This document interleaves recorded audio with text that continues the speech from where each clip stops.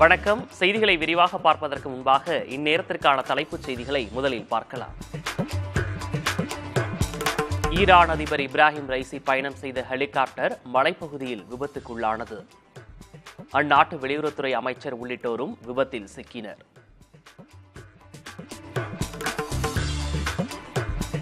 விபத்துக்குள்ளான ஹெலிகாப்டரை தேடும் பணி தீவிரம். மழை பனிமூட்டம் காரணமாக மீட்பு பணியில் சிரமம். الان تصاویر رو اه، مخاطبین محترم ஈரான் அதிபரின் ஹெலிகாப்டரை தேடுவதற்கு உதவ முன்வந்த சர்வதேச நாடுகள் இக்கட்டான நேரத்தில் ஈரான் மக்களுடன் நிற்பதாக பிரதமர் நரேந்திர மோடி பதிவு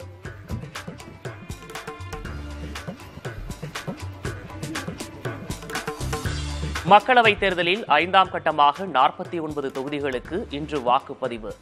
ராகுல் காந்தி ராஜ்நாத் சிங் ஸ்மிருதி இரானி உள்ளிட்டோர் களத்தில் உள்ளனர்.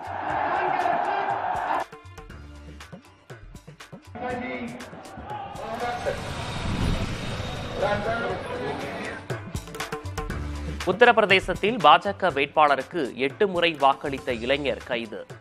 தவறிழைத்த அலுவலர்கள் பணியிடை நீக்கம் மறு வாக்குப்பதிவு நடத்த பரிந்துரை.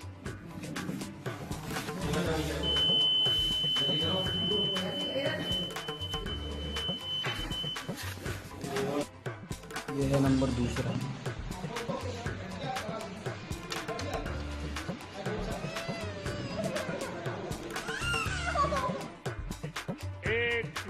ராகுலின் பேச்சுகளில் மாவோயிஸ்ட் மொழியின் தாக்கம் இருக்கிறது ஜார்க்கண்ட் தேர்தல் பரப்புரையில் பிரதமர் மோடி விமர்சனம்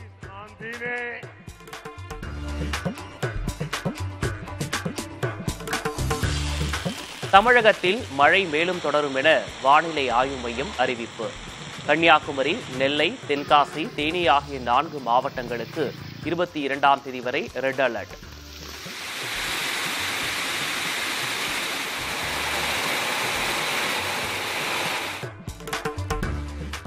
தமிழகத்தில் தொடரும் மழையால் கரைபுரண்டோடும் ஆறுகள்.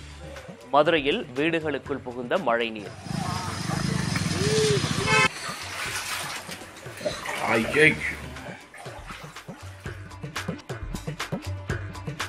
ஐபிஎல் தொடரில் பஞ்சாப் அணியை வீழ்த்தியது ஹைதராபாத் அணி. நாளை நடைபெறும் குவாலிஃபயர் போட்டியில் கொல்கத்தாவை எதிர்கொள்கிறது.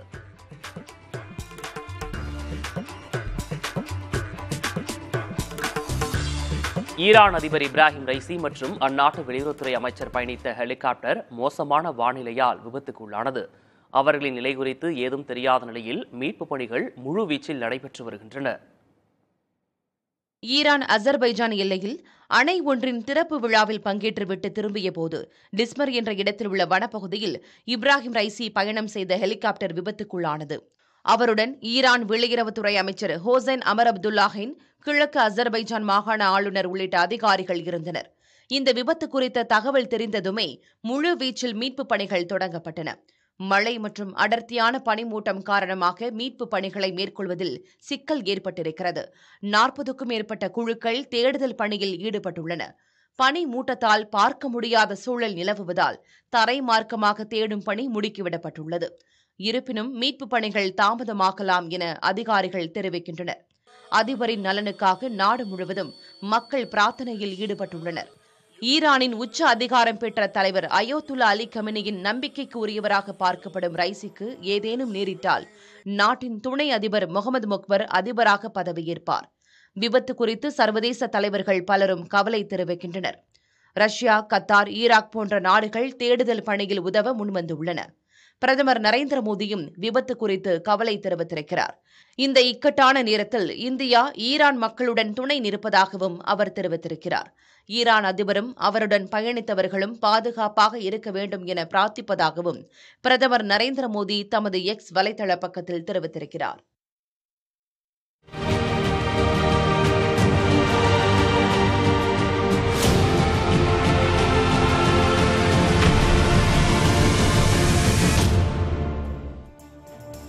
மக்களவைத் தேர்தலில் ஐந்தாம் கட்டமாக நாற்பத்தி ஒன்பது தொகுதிகளுக்கு இன்று தேர்தல் நடைபெறுகிறது. இதில் கவனத்தை ஈர்க்கும் தொகுதிகள் என்னென்ன முக்கிய வேட்பாளர்களாக யார் யார் களம் காண்கிறார்கள் என்பது பற்றி விரிவாக பார்க்கலாம். முதல் நான்கு கட்டங்களில் முன்னூற்று எண்பத்தோரு தொகுதிகளுக்கு தேர்தல் நடந்து முடிந்துள்ளது. இந்நிலையில் ஐந்தாம் கட்டமாக நாற்பத்தி ஒன்பது தொகுதிகளில் தேர்தல் நடைபெறுகிறது. ஏழு கட்டங்களில் குறைவான தொகுதிகளில் வாக்குப்பதிவு நடக்கும் கட்டமும் இதுதான். உத்தரப்பிரதேசத்தில் பதினான்கு மகாராஷ்டிராவில் பதிமூன்று மேற்கு வங்கத்தில் ஏழு பீகார் மற்றும் ஒடிஷாவில் தலா ஐந்து ஜார்க்கண்டில் மூன்று காஷ்மீர் மற்றும் லடாக்கில் தலா ஒன்று என நாற்பத்தொன்பது தொகுதிகளில் தேர்தல் நடைபெறுகிறது. உத்தரப்பிரதேச தலைநகர் லக்னோவில் மத்திய பாதுகாப்புத்துறை அமைச்சர் ராஜ்நாத் சிங் மூன்றாவது முறையாக போட்டியிடும் நிலையில் அவரை எதிர்த்து ரவிதாஸ் மெஹ்ரோத்ராவை சமாஜ்வாதி கட்சி நிறுத்தியுள்ளது. காங்கிரஸ் முன்னாள் தலைவர் ராகுல் காந்தி களமிறங்கியுள்ள ராய்பரேலி தொகுதி ஐந்தாம் கட்ட தேர்தல் நடைபெறும் தொகுதிகளில் முக்கியமானதாகும். இங்கு பாஜக சார்பில் தினேஷ் பிரதாப் சிங் போட்டியிடுகிறார். அமேதி தொகுதியில் மத்திய அமைச்சர் ஸ்மிருதி இராணியை எதிர்த்து உள்ளூரில் மிகவும் பிரபலமான காங்கிரஸ் தலைவரான கிஷோரிலால் சர்மா போட்டியிடுகிறார். பீகார் மாநிலம் சரண் தொகுதியில் லாலு பிரசாத் யாதவின் மகள் ரோஹிணி ஆச்சாரியா ராஷ்டிரிய ஜனதா தளம் கட்சி சார்பில் போட்டியிடுகிறார். இவரை எதிர்த்து பாஜக சார்பில் முன்னாள் மத்திய அமைச்சர் ராஜீவ் பிரதாப் ரூடி போட்டியிடுகிறார். மகாராஷ்டிரா மாநிலம் மும்பை வடக்கு தொகுதியில் மத்திய அமைச்சர் பியூஷ் கோயலை பாஜக களமிறக்கியுள்ளது. அவர் போட்டியிடும் முதல் தேர்தல் இது என்பதும் குறிப்பிடத்தக்கது. இங்கு பியூஷ் கோயலை எதிர்த்து காங்கிரசின் பூஷன் பாட்டில் நிறுத்தப்பட்டுள்ளார். இதே மாநிலத்தில் கல்யாண் தொகுதியில் முதலமைச்சர் ஏக்நாத் ஷிண்டேவின் மகன் ஸ்ரீகாந்த் ஷிண்டே பாஜக கூட்டணி சார்பில் நிறுத்தப்பட்டுள்ளார். இவரை எதிர்த்து சிவசேனா உத்தவ் தாக்கரே கட்சியின் வைஷாலி இரானை போட்டியிடுகிறார். காஷ்மீர் மாநிலம் பாரமுல்லா தொகுதியில் தேசிய மாநாட்டு கட்சி தலைவரும் அம்மாநில முன்னாள் முதலமைச்சருமான ஒமர் அப்துல்லா போட்டியிடும் நிலையில் அவரை எதிர்த்து மக்கள் மாநாட்டு கட்சியின் சஜத் லோன் களமிறங்கியுள்ளார். காங்கிரஸ் ஆளும் மாநிலங்களில் முதலீடு செய்யும் முன் தொழிலதிபர்கள் ஐம்பது முறை சிந்திக்க வேண்டும் என பிரதமர் மோடி பேசியுள்ளார். ஜார்க்கண்ட் மாநிலத்தில் உள்ள இந்தியாவின் புகழ்பெற்ற தொழில் நகரங்களில் ஒன்றான ஜம்ஷெட்பூரில் பிரதமர் மோடி தேர்தல் பரப்புரை மேற்கொண்டார். அப்போது பேசிய பிரதமர் ராகுல் காந்தியின் பேச்சுகளில் மாவோயிஸ்ட் மொழியின் தாக்கம் இருப்பதாக விமர்சித்தார். ராகுலின் பேச்சுகள் பணம் பறிக்கும் ரீதியிலேயே இருப்பதாகவும் எனவே காங்கிரஸ் ஆளும் மாநிலங்களில் தொழிலதிபர்கள் முதலீடு செய்யும் முன் ஆழமாக சிந்திக்க வேண்டும் என பிரதமர் கூறினார். தொழில்துறைக்கு விரோதமான ராகுல் காந்தியின் பேச்சுகளை அவரது கூட்டணி கட்சிகள் ஏற்குமா என்று சவால் விடுப்பதாகவும் பிரதமர் பேசினார். அடுத்து மேற்கு வங்கத்தில் பேசிய பிரதமர் ராமகிருஷ்ண மிஷன் இஸ்கான் போன்ற இந்து அமைப்புகளுக்கு முதல்வர் மம்தா மறைமுகமாக மிரட்டல் விடுப்பதாகவும் விமர்சித்தார் ராமகிருஷ்ண மிஷன் துறவி ஒருவரை மம்தா விமர்சித்து பேசியதற்கு பிரதமர் இவ்வாறு பதிலளித்துள்ளார் देश के जरा पूरी ताकत से मुझे बताइए जमशेदपुर கன்னியாகுமரி நெல்லை தென்காசி தேனி ஆகிய நான்கு மாவட்டங்களுக்கு இருபத்தி இரண்டாம் தேதி வரை ரெட் அலர்ட் விடுக்கப்பட்டுள்ளது. வங்கக்கடலில் காற்றழுத்த தாழ்வு பகுதி உருவாக உள்ளதாகவும் வானிலை ஆய்வு மையம் தெரிவித்துள்ளது. தமிழகத்தில் தேனி தென்காசி கன்னியாகுமரி மற்றும் நெல்லை மாவட்டங்களில் ஓரிரு இடங்களில் கன முதல் அதி கனமழை வரை பெய்ய வாய்ப்புள்ளதாக வானிலை ஆய்வு மையம் கணித்துள்ளது. இதேபோல் விருதுநகர் திருப்பூர் கோவை நீலகிரி மற்றும் திண்டுக்கல் மாவட்டங்களில் ஓரிரு இடங்களில் கன முதல் மிக கனமழை வரையும். ராமநாதபுரம் மதுரை சிவகங்கை தூத்துக்குடி தஞ்சாவூர் திருவாரூர் மயிலாடுதுறை நாகப்பட்டினம் கடலூர் அரியலூர் பெரம்பலூர் திருச்சி புதுக்கோட்டை மற்றும் காரைக்கால் பகுதிகளில் கனமழை பெய்ய வாய்ப்புள்ளதாக தெரிவித்துள்ளது. தொடர்ந்து வரும் இருபத்தி இரண்டாம் தேதி வரை கன்னியாகுமரி திருநெல்வேலி தென்காசி மற்றும் தேனி மாவட்டங்களில் கன முதல் அதி கனமழை வரை பெய்யக்கூடும் என்றும் பெரும்பாலான மாவட்டங்களில் கனமழைக்கு வாய்ப்புள்ளதாகவும் எச்சரிக்கை விடுக்கப்பட்டுள்ளது. இதனிடையே வங்கக்கடலில் இருபத்தி இரண்டாம் தேதி காற்றழுத்த தாழ்வு பகுதி உருவாகும் என இந்திய வானிலை ஆய்வு மையம் தெரிவித்துள்ளது. இது காற்றழுத்த தாழ்வு மண்டலமாக வலுப்பெறும் என்றும் கூறியுள்ளது. அதே நேரம் இது புயலாக உருவாக வாய்ப்புள்ளதாக தனியார் வானிலை ஆய்வாளர் பிரதீப் ஜான் தெரிவித்துள்ளார். தென்காசி மாவட்டத்தில் அதி கனமழை எச்சரிக்கையை தொடர்ந்து மாவட்ட நிர்வாகத்தால் அனைத்து முன்னெச்சரிக்கை நடவடிக்கைகளும் எடுக்கப்பட்டுள்ளன. கனமழையின் காரணமாக பாதிப்பு ஏற்படாமல் தடுக்க பொதுமக்கள் எச்சரிக்கையுடன் இருக்குமாறு கிராம உதவியாளர்கள் மற்றும் ஊடகம் மூலம் அறிவுறுத்தப்பட்டுள்ளது. கோவை மாவட்டத்தில் கனமழையை எதிர்கொள்ள மீட்புப் பணிகளுக்கு தேவையான உபகரணங்களுடன் பேரிடர் மீட்புக் குழுவினர் தயார் நிலையில் வைக்கப்பட்டுள்ளனர். இதேபோல் மற்ற மாவட்டங்களில் அந்தந்த மாவட்ட நிர்வாகம் மூலம் கனமழை முன்னெச்சரிக்கை நடவடிக்கைகள் மேற்கொள்ளப்பட்டுள்ளன. தமிழகத்தின் பல்வேறு மாவட்டங்களில் பெய்த கனமழையால் மக்களின் இயல்பு வாழ்க்கை பாதிக்கப்பட்டது. சேலத்தில் உள்ள ஏற்காடு சுற்றுலா தலத்தில் இரண்டு மணி நேரத்திற்கும் மேலாக கனமழை பெய்தது. இதனால் படகு இல்லம் பூங்கா மற்றும் முக்கிய காட்சி முனைகள் சுற்றுலா பயணிகள் இன்றி வெறிச்சோடி காணப்பட்டன. நீலகிரி மாவட்டம் கூடலூர் சுற்றுவட்டார பகுதிகளில் இரண்டாவது நாளாக பெய்த கனமழையால் மக்களின் இயல்பு வாழ்க்கை பாதிக்கப்பட்டது. தேவாலா பகுதியில் சாலையோரம் பெரிதளவில் மண் சரிவு ஏற்பட்டது. தருமபுரி மாவட்டத்தில் அரூர் ஒகேனக்கல் பாப்பிரெட்டிப்பட்டி மற்றும் அதன் சுற்றுவட்டார பகுதிகளில் சுமார் இரண்டு மணி நேரம் கனமழை பெய்தது. இதனால் விவசாயிகள் மற்றும் பொதுமக்கள் மகிழ்ச்சியடைந்தனர். தூத்துக்குடி மாவட்டத்துக்கு ஆரஞ்சு எச்சரிக்கை விடுக்கப்பட்ட நிலையில் தருவைக்குளம் வெள்ளப்பட்டி துபாசுப்பட்டி மற்றும் தூத்துக்குடி புறநகர் பகுதிகளில் இடி மின்னலுடன் பலத்த மழை பெய்தது. ஆவல் நத்தம் அருகே ஆடு மேய்க்க சென்ற ஒருவர் மின்னல் தாக்கி உயிரிழந்தார். தேனி மாவட்டத்துக்கு சிவப்பு எச்சரிக்கை விடுக்கப்பட்ட நிலையில் மேற்கு தொடர்ச்சி மலை பகுதிகளில் கனமழை பெய்தது. இதேபோல் விருதுநகர் புறநகர் பகுதிகளில் மழை பெய்தது. தமிழகத்தில் பரவலாக மழை பெய்து வரும் சூழலில் முக்கிய அணைகளின் நீர்மட்டம் வேகமாக நிரம்பி வருகிறது. கன்னியாகுமரி மாவட்டத்தில் சில தினங்களாக பெய்து வரும் கனமழையால் பேச்சுப்பாறை பெருஞ்சாணி சிற்றாறு உள்ளிட்ட அணைகளின் நீர்மட்டம் அதிகரித்துள்ளது. பேச்சுப்பாறை அணையின் நீர்மட்டம் நாற்பத்தி ஐந்து புள்ளி ஏழு இரண்டு அடியை எட்டிய நிலையில் அணையில் வினாடிக்கு ஐநூறு கன அடி உபரி நீர் வெளியேற்றப்பட்டு வருகிறது. இதனால் கோதையாறு தாமிரபரணி ஆற்றின் கரையோரம் வசிக்கும் மக்கள் பாதுகாப்பாக இருக்க மாவட்ட நிர்வாகம் அறிவுறுத்தியுள்ளது. நீர்வரத்து அதிகரித்து உள்ளதால் திருப்பரப்பு அருவியில் சுற்றுலா பயணிகள் குளிக்க தடை விதிக்கப்பட்டுள்ளது. தேனி மாவட்டம் பெரியகுளம் அடுத்துள்ள சோத்துப்பாறை அணையின் நீர்பிடிப்பு பகுதிகளில் பெய்து வரும் கனமழையால் அணைக்கு நீர்வரத்து உயர்ந்துள்ளது. அணையின் நீர்மட்டம் நூற்று இருபத்தி ஒன்று புள்ளி இரண்டு எட்டு அடியாக அதிகரித்துள்ளது. அணைக்கு வரும் நீர் அப்படியே வெளியேற்றப்படுவதால் வராக நதி ஆற்றின் கரையோர மக்களுக்கு முதற்கட்ட வெள்ள அபாய எச்சரிக்கை விடுக்கப்பட்டுள்ளது. மேற்கு தொடர்ச்சி மலைப்பகுதிகளில் பெய்து வரும் மழையின் காரணமாக முல்லை பெரியாறு அணையின் நீர்மட்டம் உயர்ந்து வருகிறது. அணைக்கு வரும் நீரின் அளவு அறுநூற்று இருபத்தோரு கனஅடியாக அதிகரித்துள்ளது. அணை நீர்மட்டம் நூற்று பதினைந்து புள்ளி எட்டு பூஜ்ஜியம் அடியாக உயர்ந்துள்ளது. அணையில் இருந்து குடிநீர் தேவைக்காக வினாடிக்கு நூறு கன அடி தண்ணீர் திறக்கப்பட்டுள்ளது. அணையில் நீர் இருப்பு ஆயிரத்து எண்ணூற்று எழுபத்தோரு மில்லியன் கன அடியாக உள்ளதால் விவசாயிகள் பொதுமக்கள் மகிழ்ச்சியடைந்துள்ளனர். கேரளாவின் இடுக்கி உள்ளிட்ட நான்கு மாவட்டங்களுக்கு அதிதீவிர கனமழைக்கான ரெட் அலர்ட் எச்சரிக்கை விடுக்கப்பட்டுள்ளது. கேரளாவில் கடந்த ஒரு வாரத்திற்கு மேலாக இடுக்கி உட்பட பல மாவட்டங்களில் விட்டுவிட்டு கனமழை பெய்து வருகிறது. இந்நிலையில் இடுக்கி கோட்டயம் பத்தனம்திட்டா ஆலப்புழா மாவட்டங்களுக்கு வரும் இருபத்தி ஓராம் தேதி வரை அதிதீவிர கனமழைக்கான ரெட் அலர்ட் எச்சரிக்கை விடுக்கப்பட்டிருந்ததாக திருவனந்தபுரம் வானிலை ஆய்வு மையம் தெரிவித்துள்ளது. இந்த நான்கு மாவட்டங்களில் அடுத்த இருபத்தி நான்கு மணி நேரத்தில் இருபது புள்ளி நான்கு சென்டிமீட்டருக்கும் அதிகமாக மழை பெய்ய வாய்ப்புள்ளதால் பொதுமக்கள் பாதுகாப்பாக இருக்கும்படி அறிவுறுத்தப்பட்டுள்ளது.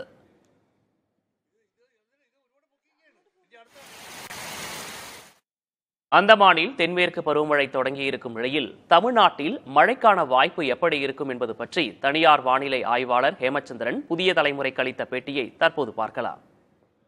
இயல்பாக மே இருபத்தி இரண்டாம் தேதி துவங்கக்கூடிய தென்மேற்கு பருவமழை மூன்று நாட்கள் முன்னதாக துவங்கியிருக்கு. தற்போது பாத்தீங்கன்னா கடல் சார்ந்த அலைவுகளின் தாக்கம் வந்து இந்திய பெருங்கடல் பகுதிகளில் காணப்படுகிறது. அதே போல காற்று சுழற்சி தமிழகத்தின் நிலப்பகுதி மற்றும் அதனை ஒட்டிய கடலோர பகுதிகளில் நீடித்து வருகிறது. இந்த காற்று சுழற்சியின் விளைவாக அடுத்த நாற்பத்தெட்டு மணி நேரத்தில் தென்மேற்கு வங்கக்கடல் மற்றும் அதனை ஒட்டிய பகுதிகளில் புதிய காற்றழுத்த தாழ்வு பகுதி உருவாகும் என எதிர்பார்க்கப்படுது. இந்த தாழ்வு பகுதி மே இருபத்தி நான்காம் தேதி வாக்குல வலுவடைந்து காற்றழுத்த தாழ்வு மண்டலமாக புயல் சின்னமாக மாறி வடக்கு வடகிழக்கு திசையில பயணிக்கும் அப்படின்னு எதிர்பார்க்கப்படுது. இதன் விளைவாக வரக்கூடிய நாட்கள்ல தமிழகத்தை பொறுத்த வரைக்கும் உள் மாவட்டங்கள் குறிப்பாக மேற்கு மாவட்டங்களான ஈரோடு திருப்பூர் கரூர் நாமக்கல் தெற் தெற்கு உள் மாவட்டங்களான மதுரை விருதுநகர் தேனி தென்காசி போன்ற மாவட்டங்கள் எல்லாம் பரவலாக இடியுடன் கூடிய மழைப்பொழிவு எதிர்பார்க்கலாம். தென்மேற்கு பருவமழை கேரளாவிலும் இயல்பாக ஜூன் ஒன்றாம் தேதி துவங்கக்கூடிய பருவமழை. இந்த வருடம் மே இருபத்தேழு இருபத்தெட்டு ஆகிய தேதிகளிலேயே முன்னதாக துவங்குவதற்கான சாதக சூழல் இருக்கு. இப்படி ஒட்டுமொத்தமாக சாதகமான வானிலை அமைப்பு மற்றும் மேற்கு மேற்கு காற்று வலுவடைவதன் காரணமாக அடுத்த பத்து நாட்கள் தென்னிந்தியாவில் மழைப்பொழிவு இருக்கும். குறிப்பாக கேரளா கர்நாடகா மற்றும் காவிரி நீர்பிடிப்பு பகுதிகள் எல்லாம் நல்ல மழைப்பொழிவு இருக்கும். மேட்டூர் அணைக்கான நீர்வரத்தும் அடுத்த பத்து நாட்கள்ல வெகுவாக அதிகரிக்கும் அப்படின்னு எதிர்பார்க்கப்படுது. தென்மேற்கு பருவமழையும் கேரளா தமிழகத்துல இயல்புக்கு முன்னதாக மே இருபத்தி ஏழு இருபத்தெட்டு ஆகிய தேதிகளிலே துவங்கும். இதன் காரணமாக மேற்கு தொடர்ச்சி மலைப்பகுதியை மலைப்பகுதிகளில் குறிப்பாக அருவிகள் நீர்வீழ்ச்சி பகுதிகளில் திடீரென வெள்ளப்பெருக்கு ஏற்படுவதற்கும் இயல்புக்கு அதிகமான தண்ணீர் வருவதற்குமான சூழல் இருக்கு. அடுத்த நான்கு நான்கு ஐந்து நாட்களுக்கு. குறுவை சாகுபடிக்காக மேட்டூர் அணை வழக்கமாக ஜூன் பனிரெண்டாம் தேதி திறக்கப்படும். ஆனால் இந்த ஆண்டு அத்தேதியில் அணை திறக்கப்படுமா என்பதில் சந்தேகம் எழுந்துள்ளது.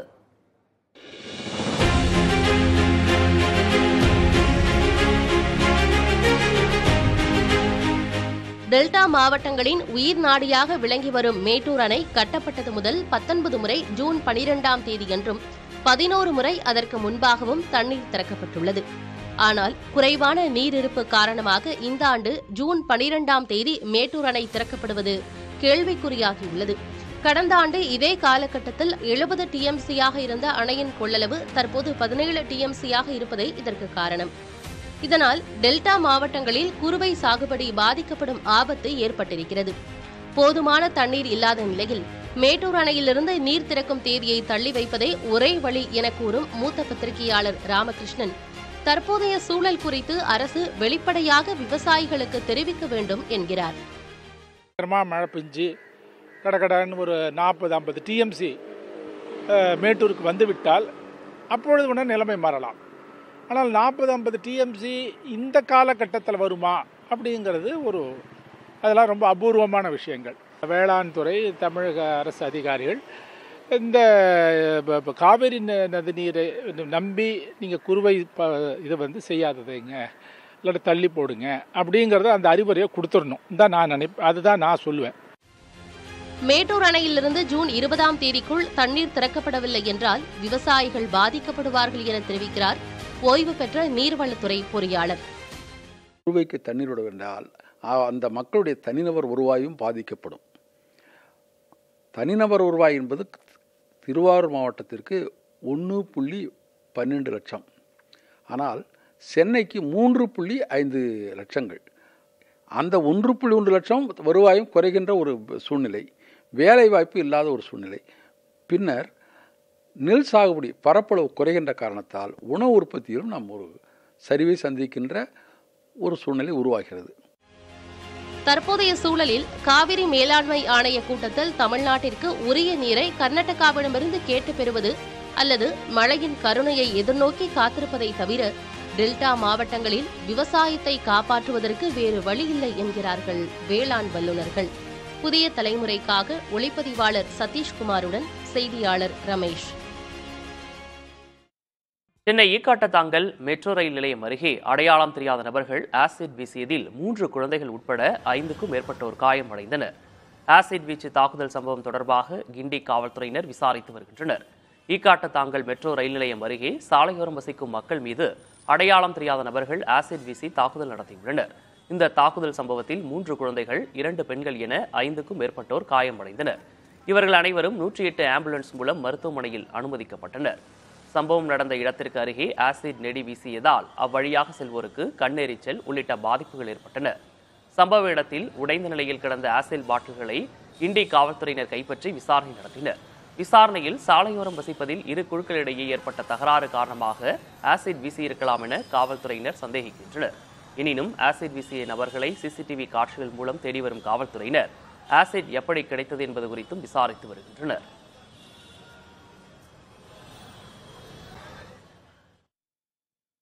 சென்னையில் அடுக்குமாடி குடியிருப்பின் பால்கனியிலிருந்து தவறி விழுந்து காப்பாற்றப்பட்ட குழந்தையின் தாய் தற்கொலை செய்து கொண்ட சம்பவம் அதிர்ச்சியை ஏற்படுத்தியுள்ளது. சென்னை திருமுலைவாயிலில் வசித்து வந்த வெங்கடேஷ் ரம்யா தம்பதியின் ஏழு மாத கைக்குழந்தை அடுக்குமாடி குடியிருப்பின் பால்கனியிலிருந்து தவறி விழுந்தபோது அக்கம் பக்கத்தினரால் பத்திரமாக காப்பாற்றப்பட்டது. இச்சம்பவத்தை தொடர்ந்து குழந்தையின் தாயான ரம்யாவை நோக்கி பலரும் கடுமையான விமர்சனங்களை முன்வைத்தனர். இதன் காரணமாக ரம்யா கடும் மன அழுத்தத்தில் இருந்து வந்ததாக கூறப்படுகிறது. இதனைத் தொடர்ந்து ரம்யாவிற்கு மாறுதல் ஏற்பட வேண்டும் என்பதற்காக வெங்கடேஷும் அவரது சொந்த ஊரான கோவை மாவட்டம் காரமடைக்கு அழைத்து வந்துள்ளார். ஒருபுறம் வேலை மறுபுறம் மனைவிக்கு கவுன்சிலிங் என இரண்டையும் வெங்கடேஷ் கவனித்து வந்த நிலையில் ரம்யா திடீரென வீட்டில் தூக்கிட்டு தற்கொலை செய்துள்ளார். தகவலின் பேரில் ரம்யாவின் உடலை கைப்பற்றிய காவல்துறையினர் அவரது தற்கொலைக்கான காரணம் குறித்து விசாரித்து வருகின்றனர்.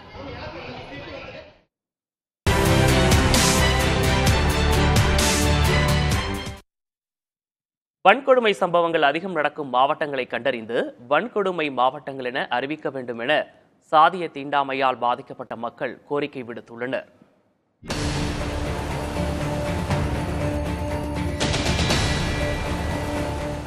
தமிழகமும் சாதிய வன்கொடுமைகளும் என்ற மாநில அளவிலான பொது விசாரணைக்கு மதுரையில் உள்ள எவிடன்ஸ் அமைப்பு ஏற்பாடு செய்திருந்தது. இந்த பொது விசாரணையில் தமிழகமெங்கும் நடந்த சாதிய கொடுமைகள் குறித்து முறையிடப்பட்டது. இதில் வேங்கை வயல் நாங்குநேரி மேல்பாதி பன்ருட்டி அஜித்குமார் குடும்பத்தினர் என முப்பதற்கும் மேற்பட்ட பாதிக்கப்பட்ட மக்கள் கலந்து கொண்டனர். மேலும் சமூக ஆர்வலர்கள் வழக்கறிஞர்கள் மாணவர்கள் உள்ளிட்ட நூற்றுக்கும் மேற்பட்டோர் கலந்து கொண்டனர். வன்கொடுமை சம்பவங்கள் அதிகம் நடக்கும் மாவட்டங்களை கண்டறிந்து வன்கொடுமை மாவட்டங்கள் என அறிவிக்க வேண்டும் என்றும் அப்படி அறிவிக்கப்படும் மாவட்டங்களில் சாதிய பாகுபாட்டை உருவாக்கி வருவோரை கண்காணித்து அவர்களின் செயல்பாட்டை தடுக்க முடியும் என்றும் பாதிக்கப்பட்ட மக்கள் கோரிக்கை வைத்தனர். அதைத்தான் இன்றைக்கு இன்றைக்கு தமிழ்நாடு முழுக்க பார்க்கிறோம். தென் மாவட்டங்களில் ஒரு பக்கம் ஒரு மாதிரி உண்டு. நாங்கள் வசித்துக் கொண்டு வடக்கூடிய மாவட்டங்கள் ஒரு மாதிரி உண்டு. இவைகளுக்கு இவைகளெல்லாம் சட்டப்பிரிவில் வந்திருக்கிறது.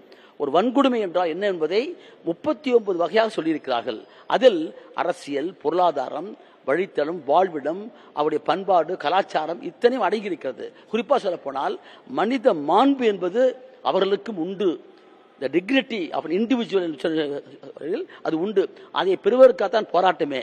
ஆகவே இந்த இழிவை போக்க வேண்டும் என்று சொன்னால் சட்டத்தை முறையாக அமல்படுத்த வேண்டும்.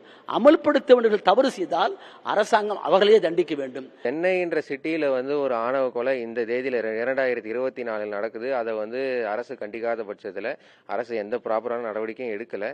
ஸோ இதை வந்து வன்கொடை மாவட்டமாக இந்த சென்னை மாநகரையும் செங்கல்பட்டையும் மாநகரையும் இது தாம்பரம் கமிஷனரேட்டில் இருக்குது தாம்பரம் மாநகராட்சியில் இது எல்லாமே வன்கொடுமை மாவட்டமாக அறிவிக்கணும். இது வந்து நார்மலான ஒரு கிரைம் கிடையாது. இது வந்து வன்கொ ஆணவ கொலை இது. வெறுமனே வன்கொடு வன்கொடுமைன்றதே கொடுமையிலும் கொடுமை அப்படின்றனால தான் அது வன்கொடுமையாக வச்சுருக்காங்க. அதுலேயும் இது ஆணவ சாதி ரீதியான ஒரு ஆணவ படுகொலை நடக்குது.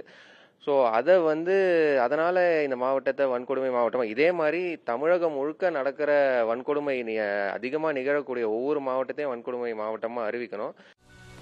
மேலும் தீவிரவாத செயல்களை கண்காணிக்க எப்படி கியூ பிரான்ச் செயல்படுகிறதோ அதுபோல சாதி வன்கொடுமைகளை தடுக்க தனிப்பிரிவு அமைக்க வேண்டும் என்றும் வன்கொடுமை வழக்கில் பாதிக்கப்பட்ட குடும்பங்களுக்கு அரசு துறையில் அவர்கள் படித்த படிப்பிற்கு உரிய வேலை வழங்க வேண்டும் எனவும் கூறுகின்றனர். மூன்று நடவடிக்கை நான் முக்கியமாக பார்க்குறேன். ஒன்று தடுப்பு நடவடிக்கை. வன்கொடுமை நடப்பதற்கு முன்பே தடுக்கணும் அப்படின்னாக்கா அதுக்கு என்னென்னலாம் நம்ம செய்யணுமான்றதை பார்க்கலாம். வன்கொடுமை நடந்த பிறகு என்ன செய்யணுன்றது அது ப்ரொடெக்ஷன் நடவடிக்கையாக பார்க்கலாம். ஒரு வன்கொடுமை நடந்த பிறகு அதை வந்து எப்படி விரைவாக நீதிமன்றத்தில் கொண்டு போகிறது குற்றவாளிக்கு எப்படி தண்டனை வாங்கி கொடுக்கறது அந்த காம்பன்சேஷன் எப்படி இமிடியேட்டாக ரிலீஸ் பண்ணுறது இன்றைக்கி நம்ம பொது விசாரணையில் வந்து அவர் நடுவராக இருக்கக்கூடிய எட்வின் அவர்கள் ரொம்ப சொன்னாங்க. இந்த ரீஹாபிலிட்டேஷன் மெஷர்லாம் என்னென்ன இருக்குது கல்வி இருக்குது வேலை வாய்ப்பு இருக்குது பென்ஷன் இருக்குது இதெல்லாம் நம்ம எப்படி கொடுக்கணுன்ற அந்த திட்டங்களாக கொண்டு வரலாம்.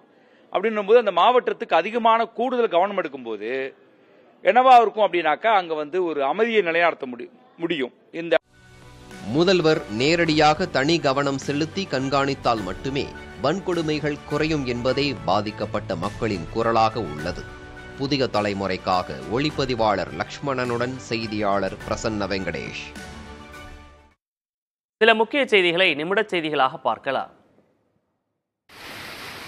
கர்நாடக தலைநகர் பெங்களூரு உட்பட ஹாசன் சிக்கலபுரம் ராமநகர் என பல பகுதிகளில் திடீரென கனமழை பொழிந்தது. இந்த கனமழையின் காரணமாக சாலைகளில் தண்ணீர் குளம் போல் தேங்கியதால் வாகனங்கள் ஊர்ந்து செல்லும் நிலை ஏற்பட்டது. அதேபோல் சில பகுதிகளில் மரங்கள் வேரோடு சாய்ந்து முக்கிய சாலைகளில் போக்குவரத்து நெரிசல் ஏற்பட்டது. கோபால் மாவட்டம் குஷ்டகி தாலுகாவில் விவசாய தோட்டத்தில் பணிபுரிந்து கொண்டிருந்த விவசாயி இடித்தாக்கி நிகழ்விடத்திலேயே உயிரிழந்தார். அதேபோல் தார்வாட் மாவட்டத்தில் இளைஞர் ஒருவர் இடித்தாக்கி படுகாயமடைந்தார். அருகில் இருந்தவர்கள் அவரை மீட்டு மருத்துவமனையில் சிகிச்சைக்காக அனுமதித்தனர். நாமக்கல் மாவட்டம் திருச்செங்கோடு விவேகானந்தா கல்வி நிறுவனங்களில் மூன்று நாட்களாக நீடித்த வருமான வரித்துறை சோதனை நிறைவுற்றது. இளையாம்பாளையத்தில் உள்ள மருத்துவம் செவிலியர் பொறியியல் ஆசிரியர் கல்வி நிறுவனம் என பதினெட்டு கல்வி நிறுவனங்களை உள்ளடக்கிய விவேகானந்தா மகளிர் கல்வி நிறுவன வளாகத்தில் கடந்த மூன்று நாட்களாக வருமான வரித்துறை சோதனை நடைபெற்றது.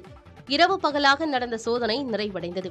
இதேபோல கந்தம்பாளையம் எஸ்கேபி கல்வி நிறுவனங்களின் தலைவர் மற்றும் ரியல் எஸ்டேட் அதிபர் கோல்டன் ஹார்ஸ் ரவி வீட்டில் நடந்த வருமான வரித்துறை சோதனையும் நிறைவு பெற்றது. இந்த இரு இடங்களிலும் மூன்று நாட்கள் நடந்த வருமான வரித்துறை சோதனையால் திருச்செங்கோடு பகுதியில் பரபரப்பு ஏற்பட்டது. விவேகானந்தா கல்வி நிறுவனத்தில் மாணவர் சேர்க்கை நடைபெற்று வந்த நிலையில் வருமான வரித்துறை சோதனையால் சேர்க்கை பணி பாதிக்கப்பட்டது. இந்த சோதனையில் எவ்வளவு பணம் என்னென்ன ஆவணங்கள் கைப்பற்றப்பட்டது என்பன குறித்த விவரங்கள் தெரியவரவில்லை ஆம் ஆத்மி கட்சியை முற்றிலும் அழிக்க பாஜக முயற்சி செய்து வருவதாக டெல்லி முதலமைச்சர் அரவிந்த் கெஜ்ரிவால் குற்றஞ்சாட்டியுள்ளார். மதுபான கொள்கை முறைகேடு வழக்கில் டெல்லி முதலமைச்சர் அரவிந்த் கெஜ்ரிவால் கைது செய்யப்பட்டு தற்போது தற்காலிக பிணையில் வெளியே வந்துள்ளார். இந்நிலையில் ஆம் ஆத்மி தலைவர்கள் கைது செய்யப்படுவதை எதிர்த்து பாஜக தலைமையகத்தில் முற்றுகை போராட்டம் நடத்துவதாக கெஜ்ரிவால் அறிவித்தார். இதையடுத்து முன்னெச்சரிக்கை நடவடிக்கையாக பாஜக தலைமையகம் அமைந்துள்ள பகுதியில் நூற்று நாற்பத்தி நான்கு தடை உத்தரவு பிறப்பிக்கப்பட்டு பாதுகாப்பு பலப்படுத்தப்பட்டது. ஆம் ஆத்மி கட்சியினர் குறிப்பிட்ட பகுதியில் போராட்டம் நடத்த அனுமதி வழங்கப்படவில்லை என டெல்லி காவல்துறையினர் தெரிவித்தனர். எனவே அங்கு தொண்டர்களுடன் பேரணியாக வந்த முதலமைச்சர் கெஜ்ரிவாலை காவல்துறையினர் தடுத்து நிறுத்தி திருப்பி அனுப்பினர். இதைத் தொடர்ந்து ஆம் ஆத்மி தொண்டர்களும் நிர்வாகிகளும் கலைந்து சென்றனர். தடையை மீற முயன்றவர்கள் கைது செய்யப்பட்டனர். முன்னதாக கட்சி அலுவலகத்தில் செய்தியாளர்களிடம் பேசிய கெஜ்ரிவால் ஆம் ஆத்மி கட்சியை முற்றிலும் ஒழிக்க பாஜக திட்டமிட்டுள்ளதாக குற்றம் சாட்டினார்.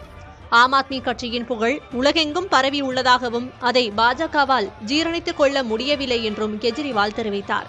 மேலும் பல மாநிலங்களில் ஆம் ஆத்மி வளர்ந்து வருவது பாஜகவுக்கு அச்சத்தை ஏற்படுத்தி உள்ளதாகவும் டெல்லி முதலமைச்சர் தெரிவித்தார்.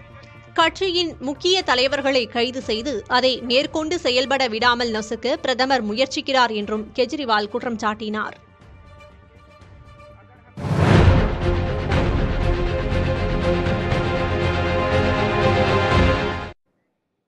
மக்களவைத் தேர்தலில் மகாலட்சுமி திட்ட வாக்குறுதியை மையப்படுத்தி பரப்புரையை மேற்கொள்ள காங்கிரஸ் வியூகம் வகுத்துள்ளதாக தகவல் வெளியாகியுள்ளது. மக்களவைத் தேர்தலில் முதல் நான்கு கட்டங்களில் மூன்றில் இரண்டு பங்கு இடங்களுக்கு வாக்குப்பதிவு முடிந்துள்ளது. இந்நிலையில் ஏழை குடும்ப பெண்களுக்கு ஆண்டுக்கு ஒரு லட்சம் ரூபாய் வழங்கும் மகாலட்சுமி திட்டத்தை மையப்படுத்தி அடுத்து வரும் கட்டங்களில் பரப்புரை மேற்கொள்ள காங்கிரஸ் வியூகம் வகுத்துள்ளதாக தெரிகிறது. இதற்காக நாற்பது லட்சம் துண்டு பிரசுரங்களை வாக்காளர்களுக்கு விநியோகிக்கவும் காங்கிரஸ் திட்டமிட்டுள்ளதாக கூறப்படுகிறது. மகாலட்சுமி திட்டம் குறித்து வாக்காளர்களுக்கு விளக்கும் வகையில் சோனியா காந்தி வீடியோ பதிவு ஒன்றையும் வெளியிட்டிருந்தார். மகாலட்சுமி திட்டம் கோடிக்கணக்கான லட்சாதிபதிகளை உருவாக்கும் என்றும் ராகுல் காந்தி தனது பரப்புரைகளில் பேசி வருகிறார். காங்கிரஸ் ஆளும் கர்நாடகா தெலுங்கானா இமாச்சல பிரதேச மாநிலங்களில் ஏழை குடும்ப பெண்களுக்கு மாதா மாதம் நிதியுதவி வழங்கும் திட்டம் செயல்படுத்தப்பட்டு பெரும் வரவேற்பை பெற்று வருகிறது. இந்நிலையில் இதை நாடு முழுவதும் கொண்டுவர காங்கிரஸ் கட்சி திட்டமிட்டுள்ளது.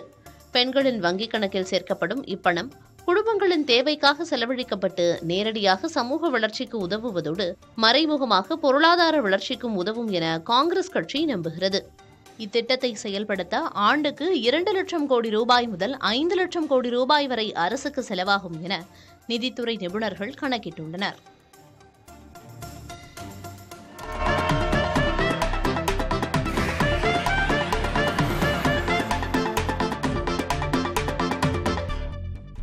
மயிலாடுதுறை மாயூரநாதர் கோயிலில் வைகாசி விசாக திருவிழாவின் ஆறாவது நாளில் ஸ்ரீ மாயூரநாதர் யானை வாகத்திலும் ஸ்ரீ அபயாம்பிகை அம்மன் யானை வாகனத்திலும் எழுந்தருளினர் வள்ளி தெய்வானையுடன் சுப்பிரமணியர் விநாயகர் சண்டிகேஸ்வரர் மின்னொளியில் அலங்கரிக்கப்பட்ட வெள்ளி ரதத்தில் கொடிமரத்தின் முன்பு எழுந்தருளினர்.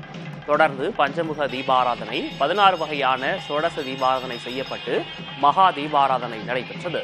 பின்னர் பஞ்சமூர்த்திகள் திருவீதி உலா நடைபெற்றது. வேல வாத்தியங்கள் முழங்க சிவ கைலாய வாத்தியங்கள் முழங்க நடைபெற்ற பஞ்சமூர்த்திகளின் வீதி உலாவில் பக்தர்கள் வீடுகள் தோறும் தீபாராதனை எடுத்து வழிபாடு நடத்தினர்.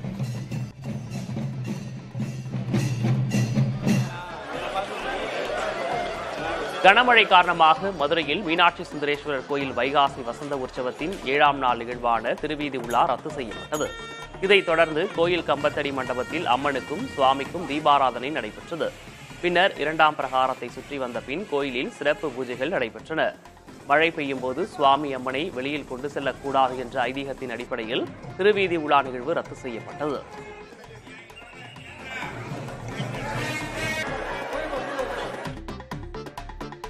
புதிதாக கட்டப்பட்ட மதுரை ஆட்சியர் அலுவலக கூடுதல் கட்டடத்தில் மழைநீர் கசியும் நிலை ஏற்பட்டுள்ளது. இரண்டாயிரத்து பதினெட்டாம் ஆண்டு அடிக்கல் நாட்டப்பட்டு கட்டி முடிக்கப்பட்ட மாவட்ட ஆட்சியர் அலுவலக கட்டடம் இரண்டாயிரத்து இருபதாம் ஆண்டு பயன்பாட்டுக்கு திறக்கப்பட்டது.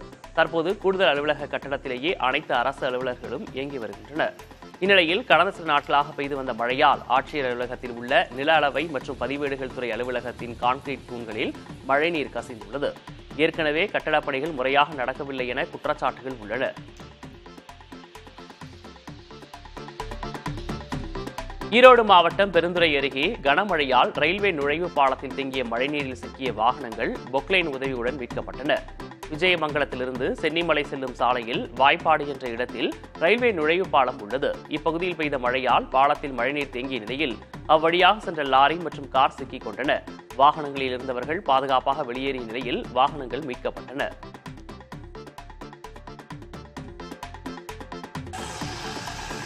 மதுரை வைகை ஆற்றில் தண்ணீர் செல்லும் பாதையை அடைத்திருந்த கழிவுகளை காவலர்கள் அகற்றினர். வைகை ஆற்றின் இணைப்பு சாலையில் வெள்ளம் சூழ்ந்ததால் போக்குவரத்து பாதிப்பு ஏற்பட்டது. இதையடுத்து அப்பகுதியில் பாதுகாப்பு பணியில் ஈடுபட்டிருந்த செல்லூர் காவல் நிலைய காவலர்கள் தண்ணீர் வெளியேறும் பகுதியில் சிக்கியிருந்த குப்பைகள் பிளாஸ்டிக் கழிவுகளை அகற்றினர். காவலர்களின் இச்செயல் பொதுமக்களின் பாராட்டை பெற்றது.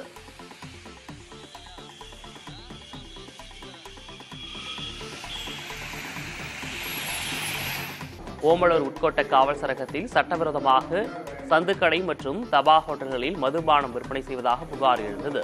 இதையடுத்து காவல்துறையினர் தீவிர ரோந்து பணி மேற்கொண்டனர். அப்போது சட்டவிரோதமாக மதுபானம் விற்ற பதினோரு பேர் கைது செய்யப்பட்டனர். அவர்களிடமிருந்து நூற்றுக்கும் மேற்பட்ட மது பாட்டில்கள் பறிமுதல் செய்யப்பட்டன.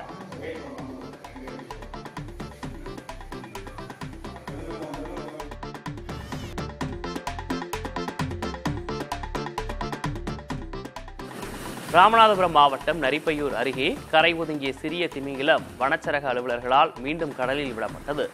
நரிப்பையூரை ஒட்டிய கடற்கரை பகுதியில் மாலை நேரத்தில் பிக்மி கில்லர் வேல் எனப்படும் அரிய வகை சிறிய திமிங்கிலம் ஒன்று கரை ஒதுங்கியது. இதனை வேட்டை தடுப்பு காவலர் செல்வம் கடலுக்குள் நீந்தி சென்று விட்டார். திருவள்ளூர் மாவட்டம் திருத்தணி அருகே கார் மோதியதில் இருசக்கர வாகனத்தில் சென்ற தம்பதி உயிரிழந்தனர். ஆவடி பெரியார் நகரைச் சேர்ந்த மையழகன் அவரது மனைவி லட்சுமி ஆகியோர் உறவினர் வீட்டு சுப நிகழ்ச்சியில் பங்கேற்பதற்காக பொதட்டூர் பகுதி நோக்கி இருசக்கர வாகனத்தில் சென்றுள்ளனர். அப்போது திருத்தணி அருகே எதிரே வந்த கார் இருசக்கர வாகனம் மீது மோதியது. இதில் படுகாயமடைந்த மெய்யழகன் லட்சுமி ஆகியோர் திருத்தணி அரசு மருத்துவமனையில் அனுமதிக்கப்பட்டு சிகிச்சை பலனின்றி உயிரிழந்தனர். புதுச்சேரியில் ஓட்டுநரின் கட்டுப்பாட்டை இழந்த தனியார் பேருந்து சாலை நடுவே இருந்த தடுப்பு கட்டை மீது மோதியதில் ஓட்டுநர் உட்பட நான்கு பேர் காயமடைந்தனர். தமிழக பகுதியான திண்டிவனத்திலிருந்து புதுச்சேரி நோக்கி தனியார் பேருந்து பத்து பயணிகளுடன் வந்து கொண்டிருந்தது. கோரிமேடு அருகே பேருந்து வந்தபோது திடீரென பிரேக் பிடிக்காததால் ஓட்டுநரின் கட்டுப்பாட்டை இழந்து அருகில் சென்று கொண்டிருந்த காரின் பக்கவாட்டில் லேசாக இடித்தது. பின்னர் சாலை நடுவே இருந்த தடுப்பு கட்டை மீது பேருந்து மோதி அதன் மீது ஏறுகின்றது. பிரேக் பிடிக்காததை அறிந்ததும் ஓட்டுநர் சாமர்த்தியமாக செயல்பட்டதால் உயிர் சேதம் தவிர்க்கப்பட்டது.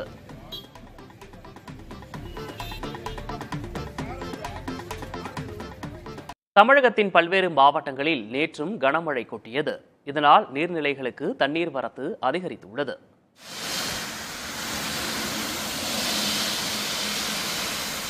திருப்பத்தூர் மாவட்டம் ஆம்பூர் மற்றும் வாணியம்பாடி சுற்றுவட்டார பகுதிகளில் ஒரு சில இடங்களில் மிதமான மழையும் சில பகுதிகளில் கனமழையும் பொழிந்தது.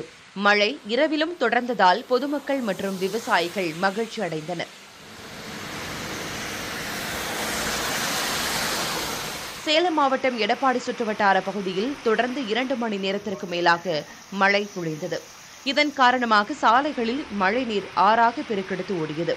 அதேபோல் மேட்டூர் அருகே கோட்டையூர் காவிரி கரையோரத்தில் மீன்களை உலர வைத்துக் கொண்டிருந்த பெண் இடி தாக்கியதில் நிகழ்விடத்திலேயே பரிதாபமாக உயிரிழந்தார். ஈரோடு மாவட்டம் கோபிச்செட்டிப்பாளையம் அடுத்துள்ள நம்பியூர் பகுதியில் உள்ள குளத்தில் உடைப்பு ஏற்பட்டதால் வீடுகளுக்குள் மழைநீர் புகும் அபாயம் ஏற்பட்டுள்ளது. இதனால் அப்பகுதியில் தாழ்வான இடங்களில் வசித்து வரும் பொதுமக்கள் மேடான பகுதிக்கு செல்லவும் கால்நடைகளை பாதுகாப்பாக வைக்கவும் காவல்துறை சார்பில் எச்சரிக்கை விடுக்கப்பட்டுள்ளது. தண்ணி கொஞ்சம் அதிகமா வருது. அதனால தாழ்வான பகுதியில் இருக்கும் பொதுமக்கள் மேடான பகுதிக்கு செல்லுமாறு கேட்டுக்கொள்கிறோம். திருப்பூர் மாவட்டம் குன்னத்தூர் அருகே உள்ள அணைப்பதி பகுதியில் குட்டைகள் முழுவதுமாக நிரம்பி வெள்ளப்பெருக்கு ஏற்பட்டதால் அச்சாலையை கடக்கக்கூடாது என்ற அபாய எச்சரிக்கை விடுக்கப்பட்டிருக்கிறது. இதை மீறி ஆபத்தை உணராமல் சாலையை கடக்க முயன்ற இருவர் வெள்ளத்தில் அடித்துச் செல்லப்பட்டனர். அப்போது அவர்களை காப்பாற்றச் சென்ற இருவரும் சாலை ஓரத்தில் இருந்த பள்ளத்தில் விழுந்தனர். இதையடுத்து தண்ணீரில் விழுந்த நான்கு நபர்களும் பத்திரமாக மீட்கப்பட்டனர்.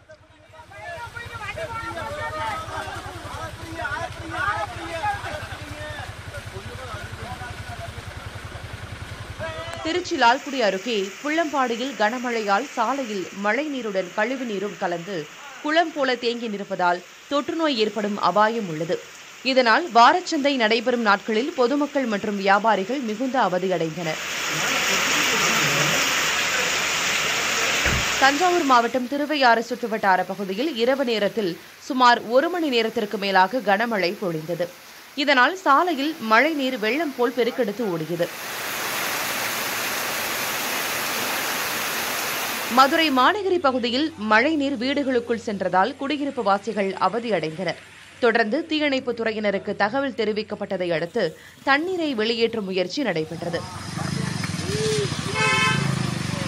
அதேபோல் மேலூர் பகுதிகளில் தொடர்ந்து எட்டு மணி நேரத்திற்கு மேலாக பொழிந்த மழையால் பொதுமக்களின் இயல்பு வாழ்க்கை கடுமையாக பாதிக்கப்பட்டுள்ளது.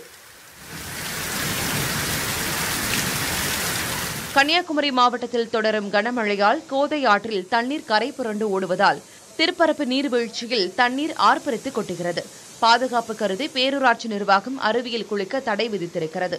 தொடர்ந்து தண்ணீர் பெருக்கெடுத்து ஓடுவதால் தாமிரபரணி ஆற்றின் கரையோரம் வசிக்கும் மக்கள் பாதுகாப்பாக இருக்க மாவட்ட நிர்வாகம் வேண்டுகோள் விடுத்துள்ளது.